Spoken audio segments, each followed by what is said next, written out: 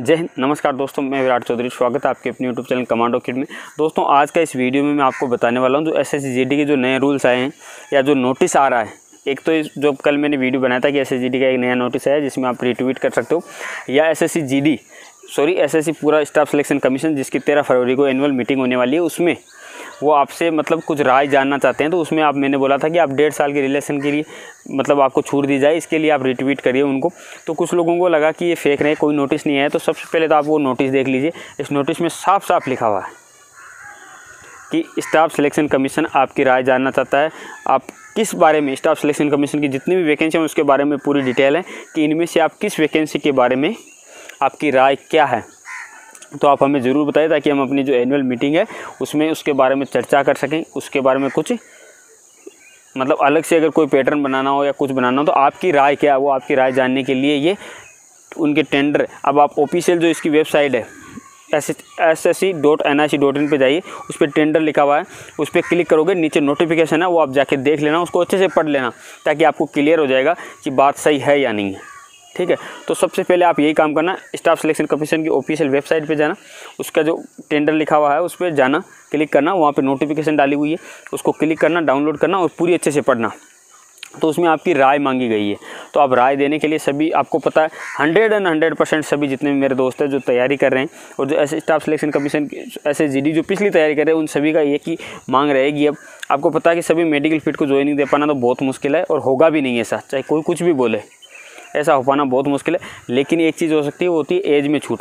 तो दोस्तों, अब हम बात करेंगे जो नए रूल आ सकते हैं, ऐसे स्टाफ सिलेक्शन कमीशन के, या जो नए रूल आने वाले हैं, उन सभी में। कुछ रूल ऐसे हैं जो लोगों को पता नहीं होने की वजह से, वो पिछली वैकेंसियों में उनके फॉर्म रिजेक्ट हुए थे। तो उसके बारे में भी बात करेंगे, और आप एस की तैयारी करो पहली बार तो आपके लिए वीडियो बहुत ज़रूरी है दोस्तों। तो वीडियो में आप एंड तक बने रहिए, मैं आपको कुछ खास जानकारी देने वाला हूँ इसमें। टोटल एस एस का जब आपको फॉर्म भरना है, उसके बारे में।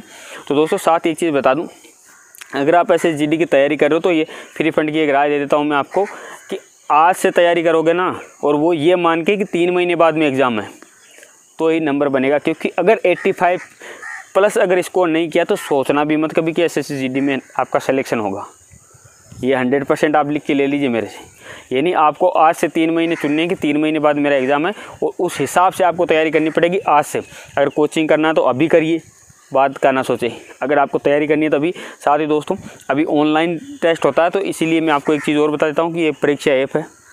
इस पर आप ऑनलाइन टेस्ट सीजिए एस एस की। बहुत ही शानदार। और भी अगर आप किसी एग्ज़ाम की तैयारी करो, उसकी भी इस पर ऑनलाइन टेस्ट सीजिए बहुत ही अच्छे पैसे में ऑनलाइन टेस्ट सीजिए बहुत ही कम पैसे में और बहुत ही शानदार इंपॉर्टेंट इंपॉर्टेंट क्वेश्चन आप अगर जाके देखोगे तो आपको पता चल जाएगा। दोस्तों, बहुत ही कम पैसे में अगर आप इसमें मेरा कोड कमांडो फिफ्टी लगाओगे तो आपको फिफ्टी परसेंट डिस्काउंट हो जाएगा और आपको मतलब फ़ायदा हो जाएगा फिफ्टी परसेंट का। और आप एक बार टेस्ट दे के देखोगे तो पता चल जाएगा कि आप कितने पानी में हो, कितने पानी के बाहर उस हिसाब से तैयारी आपको आज से करनी पड़ेगी। साथ ही, अब जो 85 प्लस का अगर आप स्कोर लेके चलोगे तो ही आपका काम बनेगा दोस्तों। अब जो इसका नया रूल आएगा, उसके अगर बता दूँ कि अगर इसमें एज में छूट दी गई तो दोस्तों अगर तेईस साल से बढ़ा के अगर डेढ़ साल का डेढ़ साल, अगर इसमें एड में एज में जो छूट दी जा सकती है उसका रीज़न क्या है? उसका रीज़न ये कि कोरोना काल की वजह से ये वैकेंसी एक साल डिले हो गई है। तो एक साल डिले हो गई, साथ ही स्टाफ जो एस एस जी जो पुराने कैंडिडेट हैं, उन सभी को पता है कि तीन साल तक उनकी ये वैकेंसी खिंच गई है। तो इसलिए उनको इस बार एज में थोड़ी सी छूट मिल सकती है। अगर हर बार की तरह हर बार इसमें अगले महीने से काउंट होती है, अगले साल दे दे, यानी एक जनवरी 2022 भी दे दे तो भी आपको काफ़ी फ़ायदा हो सकता है मतलब आठ दस महीने का फ़ायदा हो सकता है। तो उसकी वजह से अगर आपको एज में छूट मिलती है तो आप भी आस रखें इस बार कि हो सकता है कि staff selection commission S S के लिए, विशेष तौर पे जैसे राजस्थान गवर्नमेंट ने एसआई की वैकेंसी के लिए दो साल का छूट दिए क्योंकि वैकेंसी लेट होती है तो हर एक गवर्नमेंट देना चाहती है छूट, बच्चों को मौका देना चाहती है। तो हो सकता है कि इस बार आपको भी मौका मिले। तो उसके हिसाब से फिर ये साढ़े चौबीस साल हो सकती है या चौबीस साल हो सकती है तो भी आप सभी का नंबर पड़ सकता है। उसकी वजह से आपको काफ़ी फ़ायदा हो सकता है। हाइट की अगर इसके बारे में बात करें दोस्तों 170 सेंटीमीटर इसकी हाइट होनी चाहिए। हाँ एस के लिए कुछ छूट है, बाकी 170 सेंटीमीटर आपकी कम से कम हाइट होनी चाहिए इसकी, अगर आप ऐसे जी तैयारी कर रहे हो। साथ ही पाँच किलोमीटर की रनिंग आप सभी को पता है चौबीस मिनट में आपको ये पाँच किलोमीटर की रनिंग करनी होती है दोस्तों। पाँच किलोमीटर की रनिंग आप आसानी से कर देते हो इसका जो सबसे बड़ा पड़ाव है और पहला पड़ाव है, वो है रिटर्न एग्ज़ाम रिटर्न एग्ज़ाम में आप सभी को पता है, पच्चीस क्वेश्चन मैथ के, पच्चीस जी के, पच्चीस हिंदी और पच्चीस रीजनिंग इनमें आपको एट्टी स्कोर करना ही करना है। ये मान के चलिए, तभी आपका नंबर आएगा, नहीं तो नंबर आ पाना बहुत मुश्किल है। अभी प्रेजेंट टाइम में जो कंपटीशन चल रहा है इसका, उसमें आपका नंबर आ पाना बहुत ही मुश्किल है दोस्तों। तो इसीलिए मेरी आप खास राय मान लीजिए कि आप आज से तैयारी कर लीजिए शुरू। एज में छूट मिल जाएगी तो भी आपका नंबर आ जाएगा। और जितने भी दोस्त जो नए जुड़ रहे हैं इस वैकेंसी में तो उनको बता दूँ फॉर्म भी भरते समय आप इस चीज़ का विशेष ध्यान रखें कि आपका जो डिस्ट्रिक्ट आता है, वो जनरल डिस्ट्रिक्ट में आता है बॉर्डर डिस्ट्रिक्ट में आता है, नक्सल डिस्ट्रिक्ट में आता है। उसी डिस्ट्रिक्ट से फॉर्म भरे अगर आपका डिस्ट्रिक्ट नक्सल डिस्ट्रिक्ट में आता, आपने जनरल से भर दिया तो भी मिस्टेक हो जाएगी। आपका जनरल में आता, नक्सल से भर दिया बॉर्डर से भर दिया तो भी गलती हो जाएगी। उसकी वजह से आपके फॉर्म रिजेक्ट हो जाएगी। वो भी रिजेक्ट कब होंगे? जब आपकी फाइनल मेट आएगी उस समय। उससे पहले आपको नहीं बताएँगे कि आपका फॉर्म रिजेक्ट हुआ है या नहीं हुआ। ठीक है? बाद में एफिडेविट लगा के घूमते रहोगे, ऐसे निकल जाएगी। एफिडेविट से फिर कुछ नहीं होता। कई बार आपके ये प्रॉब्लम आती है। पिछली वैकेंसी में बहुत सारे, कम से कम आठ से दस हज़ार बच्चों के फॉर्म रिजेक्ट हुए हैं। कईयों को तो रिजेक्शन लेटर भेजे कईयों को भेजे भी नहीं उनके डायरेक्ट रिजेक्ट हो गए अब जब नंबर ओपन हुए तब उनको बता रहा कि वो मेडिकल मैन फिट है या बायोमेट्रिक मैन फिट है। तो मतलब उनको रिजेक्शन लेटर भी नहीं भेजें तो इसलिए इस बात का विशेष ध्यान रखना दोस्तों। आप कौन सी डिस्ट्रिक्ट में आते हो, इसकी पहले जानकारी लेना। जब फॉर्म भरने का समय आएगा, आप मेरे टेलीग्राम ग्रुप से जुड़ जाइए। टेलीग्राम ग्रुप का लिंक नीचे है, ताकि मैं आपको बता दूँगा। आप डिस्ट्रिक्ट पूछोगे तो मैं ज़रूर उसमें रिप्लाई करूँगा आपको। या इधर भी आप कमेंट बॉक्स में लिख सकते हो तो मैं एक वीडियो बनाऊँगा कि कौन जो विशेष जो स्टेट की जो डिस्ट्रिक्ट है वो, जहाँ पे मतलब थोड़ा सा बच्चों को कन्फ्यूज़न रहता है, वहाँ के बारे में वीडियो बना दूँगा कि आप इस डिस्ट्रिक्ट में आते हो। तो दोस्तों, एक खास बात हो रही है कि नेगेटिव मार्किंग कि इस बार बता रहे हैं माइनस मार्किंग रहेगी एस एस में। नेगेटिव मार्किंग होने से काफ़ी अच्छा है। और अभी से अगर इसकी घोषणा हो जाए, आप ये मान के चलिए कि नेगेटिव मार्किंग रहती है तो जो बच्चा अभी से तैयारी करेगी, उसके लिए काफ़ी फ़ायदा होगा, क्योंकि मेरिट बहुत ऊपर जा रही है।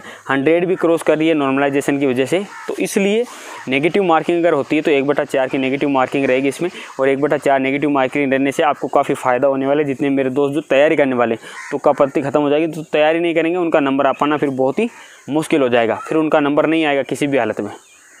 ठीक है? तो इसका जो फ़िज़िकल होता है फ़िज़िकल का लड़कियों का मेरे 1600 मीटर की रनिंग होती। है लड़कियों के लिए भी ज़्यादा हार्ड नहीं है 1600 मीटर की रनिंग चेस्ट वेट होता है लड़कों का भी चेस्ट वेट इक्यासी से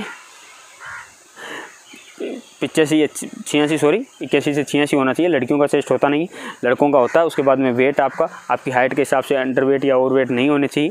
आपकी हाइट के हिसाब से आपका कम से कम वेट होना चाहिए। नोटिफिकेशन में स्पेशली लिखा रहेगा, उतना वेट आपका होना चाहिए।